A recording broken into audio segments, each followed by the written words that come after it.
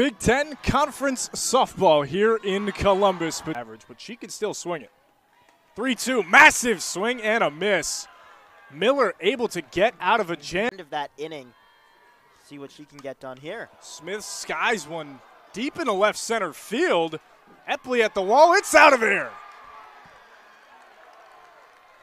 Northwestern strikes first thanks to Emma Ray. It's 1 0 Wildcats. Two strikes on its way to Nori. Swing and a miss. Went to the heater in the dirt. Was dropped, thrown to first. So a strikeout, 2 3.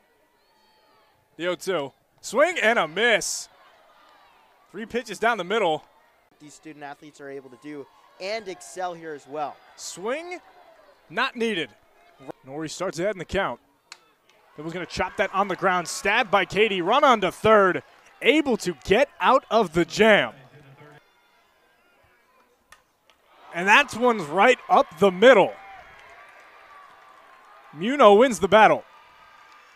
The challenger, and Smith just needs one strike. On the ground, it's off the glove. No recovery. Still 1 2.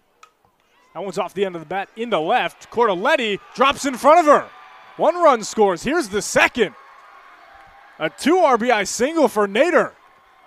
And the Wildcats are starting to open it up. Ball is two strikes, runner on second. That one's hit a ton into right center.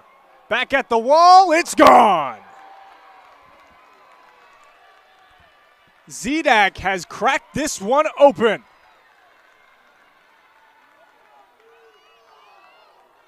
On its way to Epley. Owens chopped right in front of the pitcher. Who's going to get it? It's going to be the catcher, Ray. And there's that cannon to get out of another jam for Northwestern. Brush that one off. It happens. The impact and another chance here. Back up the middle. That scores one. Here comes the second. Throw from Epley. Cut off in the circle. There's that two RBIs. That time it's Cady. It's 8 nothing. Or starting to head home, or they're going to catch the Fall Out Boy concert next door. Roped into the right center gap. That's going to get down and go for extra bases. Cady's chugging all the way around. Relay throw cut off again. Recent one, a strikeout, but now one into the field. 2 2. Swing and a miss from Cordelletti. And that's what you want out of a freshman. Swing and miss. Strikeout number 100 on the season for Miller.